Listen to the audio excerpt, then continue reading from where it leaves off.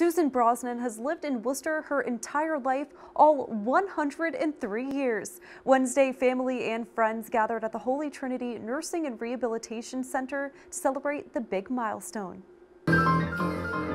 Susan Brosnan is all smiles as she celebrates her 103rd birthday. It's very special. I didn't expect it at all. Her friends and family say during her long life, Brosnan has worked hard to make a difference. Jill Lukey says she was a selfless member of the St. Vincent Hospital Guild for 55 years. The nurses would pick her up because she didn't drive and bring her there and she'd stay for their whole shift and then go home. And she'd, you know, make the coffee and give them pastry. And the Guild has become more successful and I think that her support uh, is very, very important to us. Brosnan settled in the Vernon Hill area. As a token of appreciation for living in the city for more than a century, Mayor Joseph Petty gave Brosnan a Worcester medallion. It's a nice event today, and it's the 103rd birthday of Susan, and uh, she was a volunteer for many years, so it's good to come here at the Holy Trinity and, and give her a, a recognition.